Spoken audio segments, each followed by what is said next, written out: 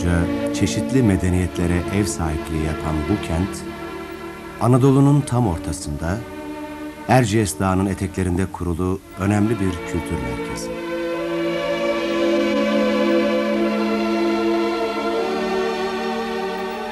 Kültepe Kaniş Höyüğü'nde bulunan yazılı belgeler, Kayseri'nin Anadolu'nun en eski yerleşim merkezlerinden biri olduğunu ortaya koyuyor.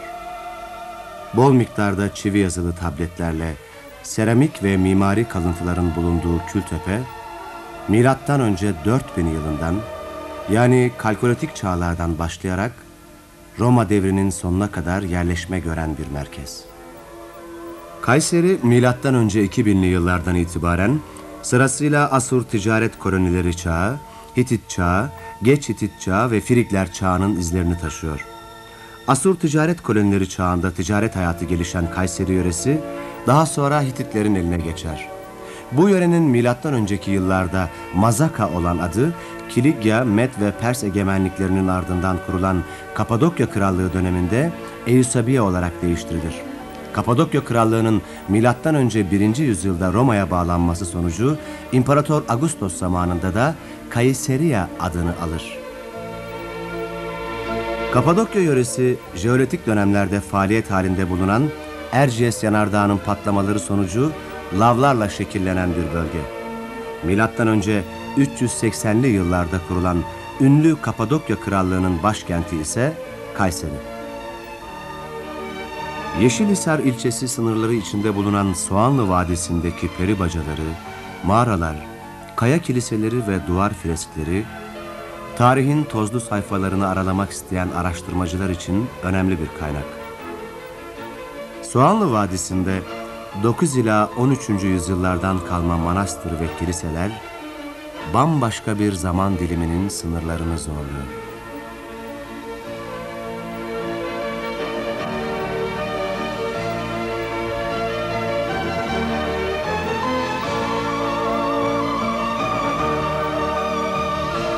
Tarihi İpek yolunun düğüm noktasında bulunan Kayseri, her dönemde kalabalık nüfusu, canlı ekonomisi, çalışkan ve üretken insanlarıyla ünlü bir merkez.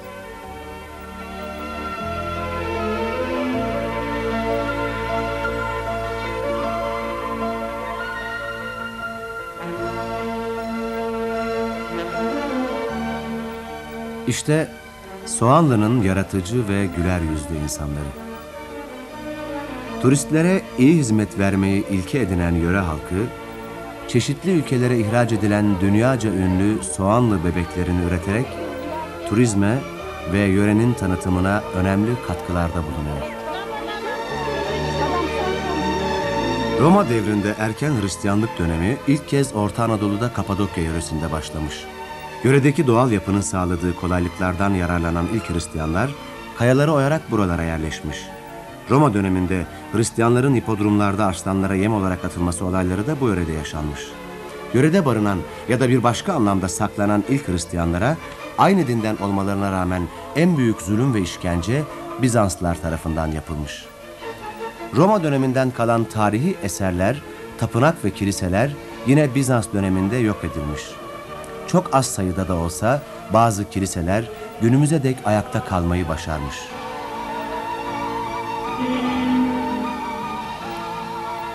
Tüm özellikleriyle korunmaya çalışılan bu kiliseler belirli günlerde ziyarete ve ibadete açık tutuluyor.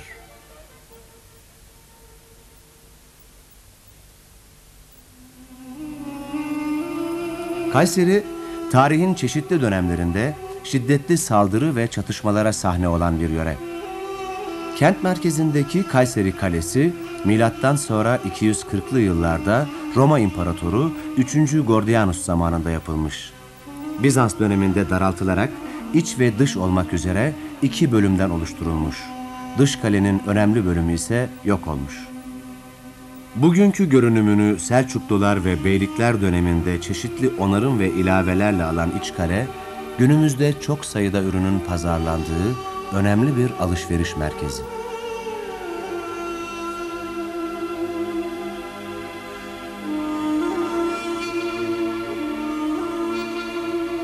Türklerin Anadolu üzerindeki kesin hakimiyeti, bir başka deyişle ebediyete kadar sürecek hakimiyeti 1071 Malazgirt zaferiyle başladı. 1. Süleyman Şah zamanında Kayseri ve yöresini Bizanslardan alan Melik Danışment Gazi burada ayrı bir devlet kurar. Bu devletin üçüncü hükümdarı Melik Mehmet Gazi de 1134 ve 1143 yılları arasında Kayseri'yi başkent yapar. Şehre cami kebir gibi önemli dini yapılar kazandırır. Ancak 12. yüzyılın sonlarına doğru Anadolu Selçuklu Sultanı II. Kılıç Arslan, Danışmentler Devleti'nin varlığına son vererek bu yöreyi ülkesinin topraklarına katar. Kayseri ve çevresi çeşitli tarihlerde el değiştirse de sürekli olarak Türk devletleri ve beyliklerinin hakimiyetinde kalır. Kayseri, Selçuklular zamanında Bizans devrini bir hayli geride bırakarak en parlak dönemini yaşadı. Birbirinden güzel eserlerle donatıldı. Selçuklu döneminin ardından gelen İlhanlı, Eratna, Danışment, Dülkadirli ve Osmanlı dönemlerinden de çok sayıda tarihi eser bulunuyor.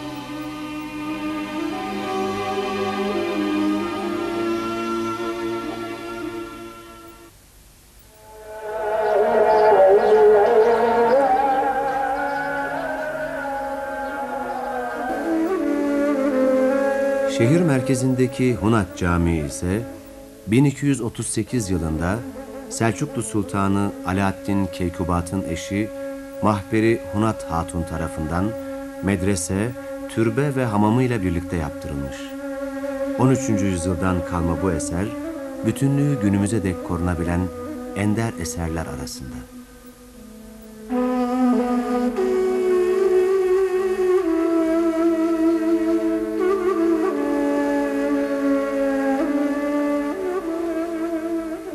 Hacı Kılınç Camii ve Medresesi ise Selçuklu Sultanı İzzettin Keykavus tarafından 1250 yılında yaptırılmış.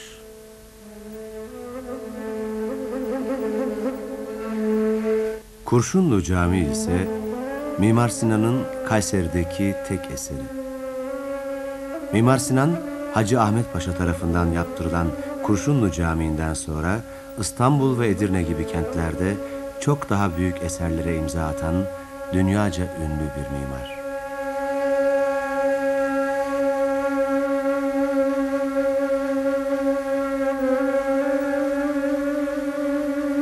Sinan 1492 yılında Kayseri'nin Ağırnas kasabasında dünyaya gelmiş. Kayseri kent merkezinde yükselen en yeni ve görkemli camilerden biri de İki Kapılı Camii.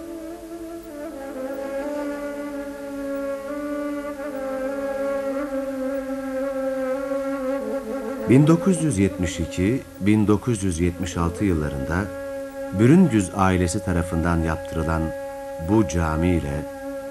...önündeki gönderde dalgalanan bayrağımız... ...Yüce Önder Kemal Atatürk'ün kurduğu... ...demokratik ve layık Türkiye Cumhuriyeti gerçeğini ne kadar da güzel sergiliyor.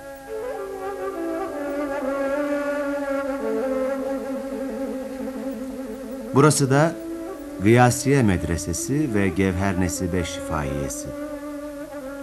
Selçuklu Sultanı 1. Gıyasettin Keyhüsrev tarafından kız kardeşi Gevher Nesibe'nin vasiyeti üzerine 1205 yılında yaptırılmış. Şifahane Anadolu'nun ilk tıp okulu olarak bilinir. Çeşitli dönemlerden kalma çok sayıda medrese, kümbet ve türbe Kayseri'ye gizemli bir görüntü verir.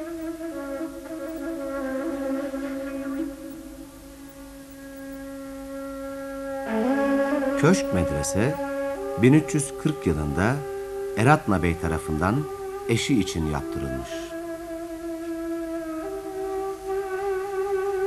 Hatuniye Medresesi, Dulkadiroğlu Mehmet tarafından 1432 yılında gerçekleştirilmiş.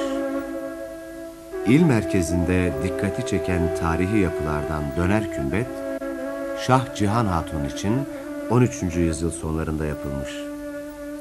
Taş oymacılığı sanatının ender örneklerinden biri. Çifte kümbet ise 1. Alaaddin Keykubat tarafından eşi Adile Hatun için 1248'de yaptırılmış. Ali Cafer kümbeti, Alaca kümbet, Köşk kümbeti ve Kutlu Hatun kümbeti de görülmeye değer eserler arasında. Melik Gazi Türbesi de 12. yüzyıldan bu yana dimdik ayakta.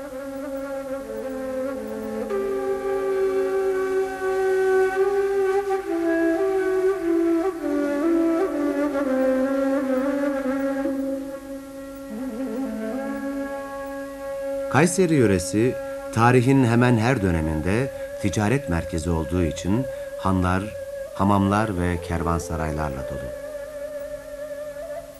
Kayseri'ye 47 kilometre uzaklıkta Bünyan ilçesi sınırları içinde Sultan Hanı, 1. Alaaddin Keykubat tarafından yaptırılmış. 13. yüzyıl Selçuklu eseri.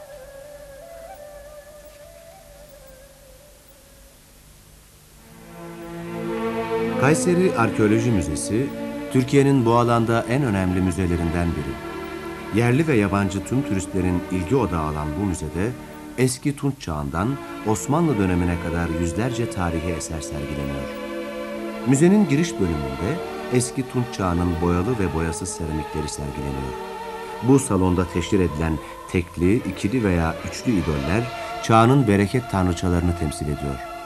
Müzede Asur ticaret kolonileri devriyle Hitit, geç Hitit devirlerinden kalma kral heykelleri, sfenks başları ve kabartmalar bulunuyor. Müzenin bir bölümü de Helenistlik Roma ve Bizans çağının nadide eserlerine ayrılmış durumda. Bu eserlerin büyük bölümünü Kültepe kazılarında bulunanlarla satın alma ya da bağış yoluyla yöre halkından toplanan eserler oluşturuyor.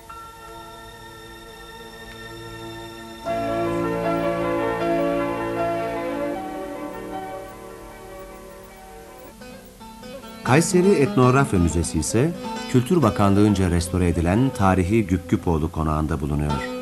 Müzede Kayseri ve çevresinden toplanan ahşap ve madeni kaplar, yazma eserler, kadın erkek giysileri, süs eşyası ve takılar gibi Osmanlı dönemine ait eserlerle Selçuklu dönemi çineleri sergileniyor. Çeşitli medeniyetlere ev sahipliği yapan Kayseri, doğal güzellikler açısından da dünyanın en gözde yerlerinden biri.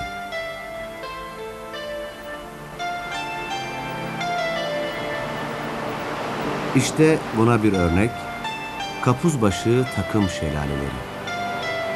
Kayseri'nin Yahyalı ilçesine 76 kilometre uzaklıkta bulunan bu doğa harikası, yedi şelaleden oluşuyor. Dünyada benzeri az görülen bir şekilde toprak altından akarak kayalardan fışkıran bu şelalelerin yüksekliği 20 ila 50 metre arasında değişiyor. Aladağlar Milli Parkı içinde yer alan Kapuzbaşı şelalelerin çevresini kamulaştırarak eşsiz güzellikteki bu yörenin turizme açılması için çalışmalar yapılıyor. Şelalelerle aynı adı taşıyan Kapuzbaşı köyü büyük bir konaklama merkezi haline getirilerek turistlere çevreyi gezip görme imkanı sağlanacak. Aladağ zirvesindeki kar ve buzulların erimesiyle beslenen Kapuzbaşı şelaleleri, Aladağ Aksu çayının sularıyla birlikte Zamantı ırmağına, oradan da Seyhan nehrine akıyor. Pınarbaşı ilçesinin Şerefiye köyünden doğarak Tomarza ilçesini kat edip Yahyalı'ya ulaşan ve derin bir vadiden geçerek doğal güzellikler arasından kıvrıla kıvrıla akan Zamantı ırmağı, Nehir ya da akarsu sporlarını sevenler için vazgeçilmez bir tutku. Bu ırmak son zamanlarda raftingçilerin akınına uğruyor.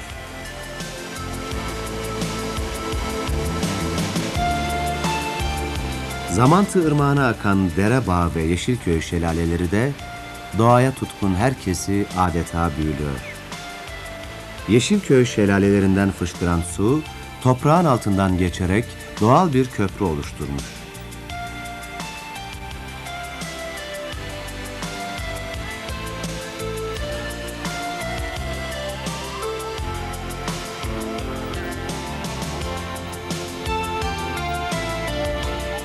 Doğa tutkunlarının mesire yeri olarak kullandığı bu şelaleler turizm açısından parlak bir gelecek vaat ediyor.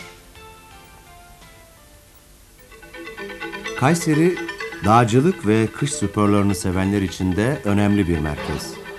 Orta Anadolu'nun en yüksek doruğu olan Erciyes Dağı, sönmüş bir volkan. Bölgenin doğal oluşumuna adeta damgasını vuran bu gizemli dağda kayak yapmanın zevkine doyum olmaz.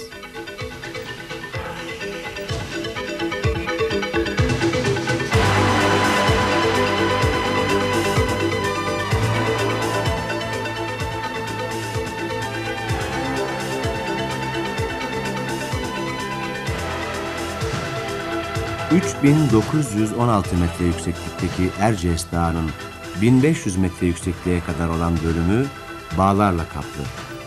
Dağın doğu yüzeyinde 2100-2900 metreler arasında yer alan Tekir Yaylası aynı zamanda kış sporları merkezi.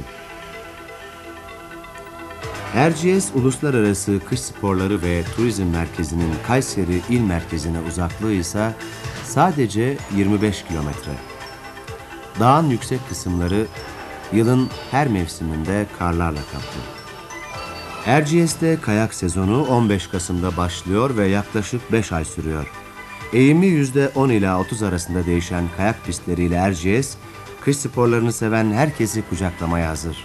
Erciyes'te günün her saatinde kayak yapmak ve eğlenmek bir başka güzel. Giderek artan talebi karşılayabilmek için Erciyes Dağı'nın kuzeyindeki Hacılar ilçesi yakınında da bir kayak merkezi kuruluyor. Dağın bu kesiminde yaklaşık bir kilometrelik dağ buzulu bulunuyor. Erciyes bu özelliğiyle de dünyaca ünlü bir dağ.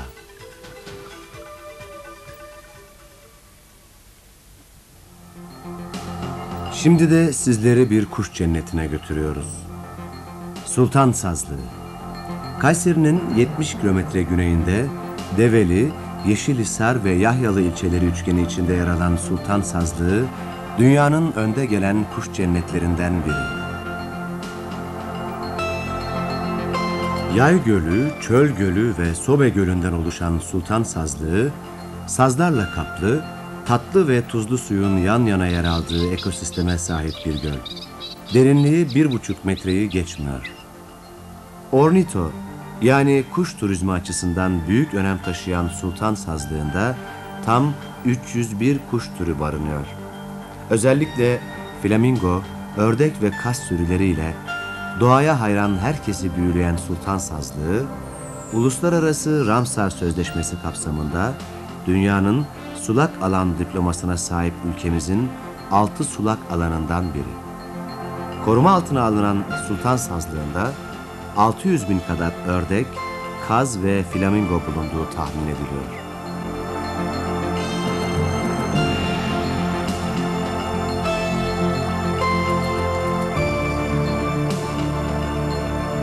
Hititlerden beri bilinen Sultan Sazlığı'nda doğanın binbir rengini görebilirsiniz. Flamingo, küçük balaban, balıkçıl, turna, ördek, yaban kazı, kaşıkçı, kalem ayak ve sumru gibi kuşların doğa ile iç içe görüntülerinden büyülenmemek mümkün değil.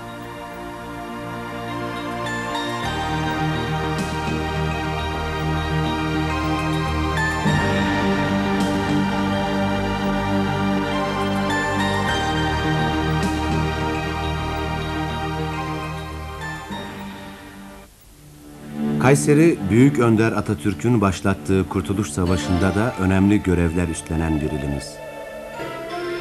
Batı cephesine silah ve cephane sevkiyatı yapan Kayseri'nin intikam alayını kurarak Yozgat ve çevresinde baş gösteren isyanı bastırmak için göndermesi de milli mücadelenin başarıya ulaşmasına önemli katkılarda bulundu. Kayseri'de silah yapımı için atölyeler açılırken askeri mensucat fabrikası ile bin yataklı bir hastane kuruldu. Kayseri Lisesi'nin milli mücadele yıllarındaki mezuniyet defterinde son sınıf talebeleri Sakarya Savaşı için cephede şehit düştüğünden bu öğretim yılında okul mezun vermemiştir cümlesi dikkati çekiyor. Bu anlamlı not, Kayseri halkının milli mücadeleye verdiği o büyük desteği açıkça ortaya koyuyor. Büyük Önder Mustafa Kemal'in milli mücadeleyi başlattıktan sonra uğradığı şehirlerin başında Kayseri geliyor. 19 Aralık 1919'da Kayseri'ye gelen Mustafa Kemal coşkun sevgi gösterileriyle karşılanır. Mustafa Kemal ertesi gün yaptığı konuşmada Kayserilerin milli mücadele uğrunda şimdiye kadar yaptıklarından ve yapmak istediklerinden son derece memnun olduğunu belirtir. Büyük Önder Kemal Atatürk milli mücadelenin kazanılmasını izleyen yıllarda da Kayseri'ye dört kez gelerek bu memnuniyetini açıkça ortaya koyar. Kayseri Cumhuriyet döneminde hızla kalkanan illerimizin başında yer alır. Cumhuriyetin ilanı ile birlikte Türkiye'nin kazandığı dinamizm, şevk ve heyecan Kayseri'de hemen etkisini gösterdi. Ticaret ve sanayi alanındaki yatırımlar birbirini izledi.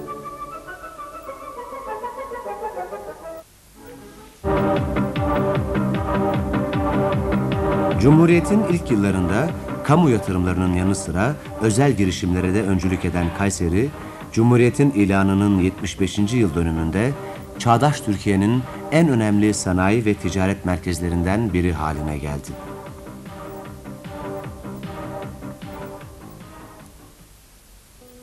...1978 yılında kurulan Erciyes Üniversitesi de... ...kentin ve bölgenin sosyal yaşamındaki gelişmelere damgasını vuran... ...önemli bir öğretim kurumu. 11 fakülte, 11 yüksekokul ve 3 araştırma enstitüsüyle eğitim ve öğretimini sürdüren örnek üniversitelerimizden biri.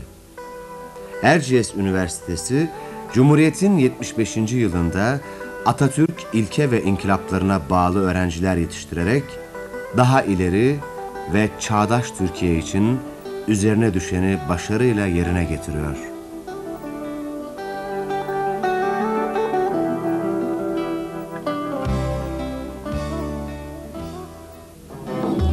Zengin mutfağı, sucuğu ve pastırmasıyla adını dünyaya duyuran Kayseri, tarihi ve kültürel zenginlikleriyle turizm açısından da hızla gelişiyor.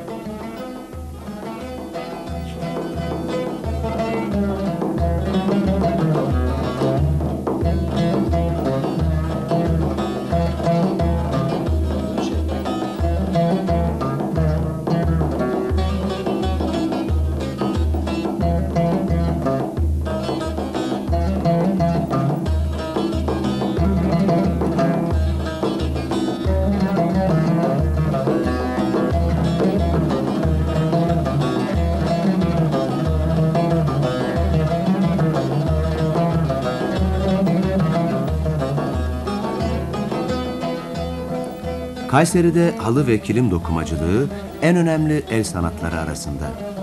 El tezgahlarında dokunan halı ve kilimler düğüm sayısı, renk ve desen zenginlikleri açısından büyük beğeni topluyor. Gelenek ve göreneklerine bağlı kalan yöre halkı, folklorik değerleri koruyabilmenin mutluluğu içinde. Halk müziği ve halk oyunları kültürü yörede tüm canlılığını koruyor. Folklor ekipleri ortaya koydukları bu güzel oyunlarla kültürel değerleri her zaman canlı tutuyor.